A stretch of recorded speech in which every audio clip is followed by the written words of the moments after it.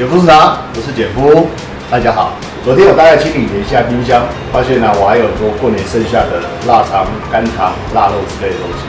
那我们今天呢就来做一个腊味饭。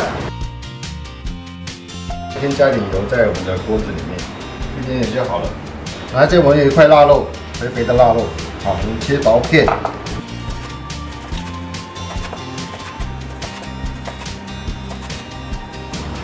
然后我们先把腊肉丢下去，因为它有肥肉的部分，所以说我们现在把它的肥油稍微的逼出来一点。一方面呢会增加它的香味，一方面呢增加油脂，后面大家炒会比较好炒。接下来我们来切腊肠跟干肠，啊，我们把它切成小丁，这样吃起来比较有口感。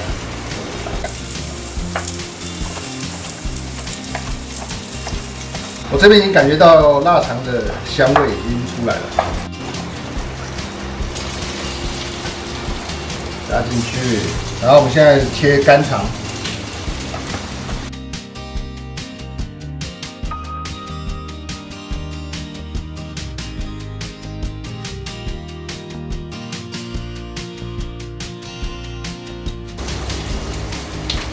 我们看到砧板上其实有些油脂啊，这些油脂啊。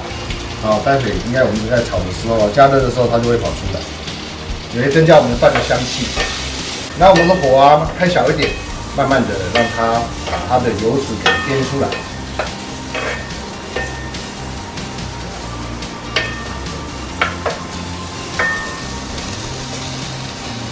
好，我们尽量把它拨平，让它都吃得到火。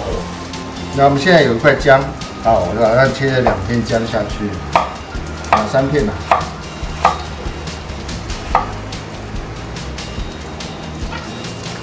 这时候我们的姜片呢，也可以下去让它慢慢煸。我的姜片只是为了要提味而已哈，我们不用放太多。我今天选择的是厚的铸铁锅，那它一方面它的蓄热会比较好，然后我们火不用开很大。那最主要是我不需要火太大，然后这样子才可以把它腊肉、腊肠、肝肠的里面的油脂给煸出来。我们尽量把油脂煸出来，可以增加腊味饭的香味。我这边准备了大概三百公克左右的长米，那我洗干净了之后，大概泡了十分钟左右。那待会我要把它加进去炒一炒。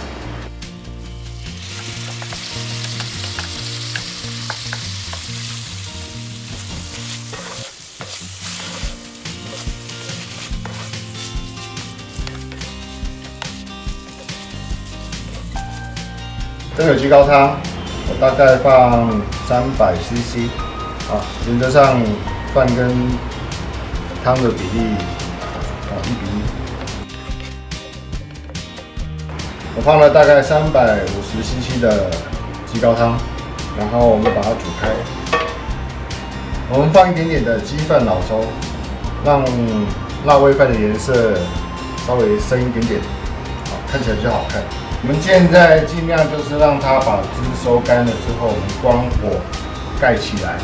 煮饭其实最重要的就是焖的功夫，剩余的热气焖到饭熟透。Many many minutes later，我现在收的差不多了，好，我们看看一下里面都已经没有什么水分了。你看压一下，压一下，让它的热气可以把饭给焖熟。我现在把火关掉。我再加一点点的高汤，然后把盖子盖起来，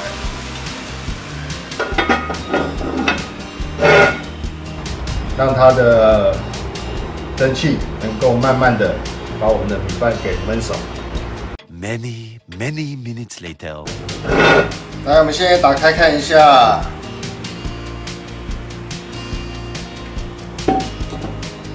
们再把它搅拌一下，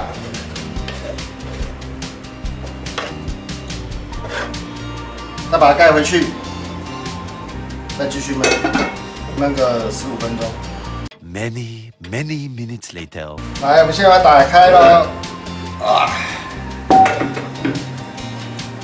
来，我们把它拌一拌，哇，还有点锅巴，看起来不错。